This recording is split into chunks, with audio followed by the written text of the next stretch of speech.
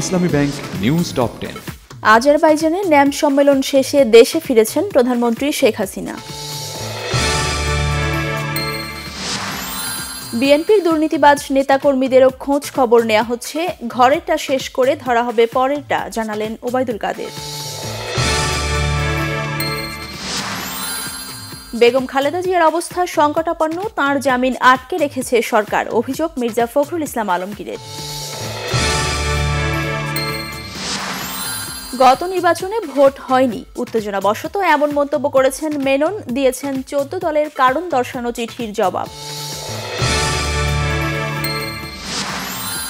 সরকারের উন্নয়নকে বাধাগ্রস্ত করতেই গুজব ছড়িয়ে ভোলার সহিংসতার ঘটনা ঘটেছে, বলেছেন স্বরাষ্ট্রমন্ত্রী। রংপুর রোকেয়া বিশ্ববিদ্যালয় ছাত্রলীগ সভাপতির চাঁদা দাবি, চলছে মাদক ব্যবসা টর্সার সেল সহ নানা অপকর্ম। রাজনৈতিক বিবেচনায় নয়, নীতিমালা ও যোগ্যতার ভিত্তিতে শিক্ষা প্রতিষ্ঠানগুলো এমপিও ভুক্ত করা হয়েছে, জানিয়েছেন শিক্ষামন্ত্রী দীপু মনি। চলচ্চিত্র প্রযোজক ও ব্যবসায়ী আজিজ মোহাম্মদ ভাইয়ের গুলশানের বাসায় অভিযান চালিয়েছে মাদক দ্রব্য নিয়ন্ত্রণ অধিদপ্তর।